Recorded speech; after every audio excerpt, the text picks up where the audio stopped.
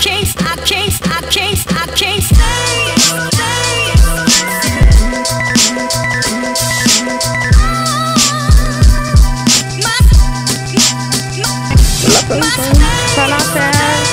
In the Philippines.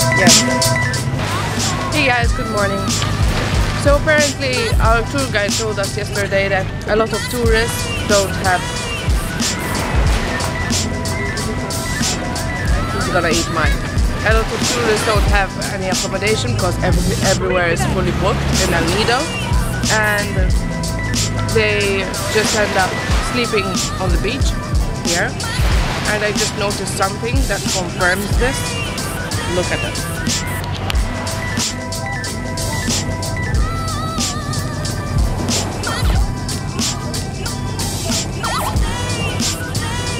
And also there is one. Yeah, I think I don't think accommodation is the problem for this guy though.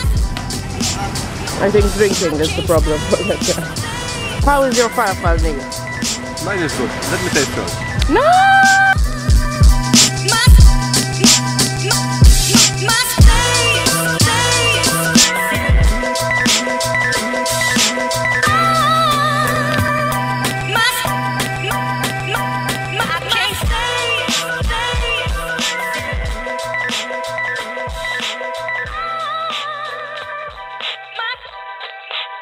Yeah.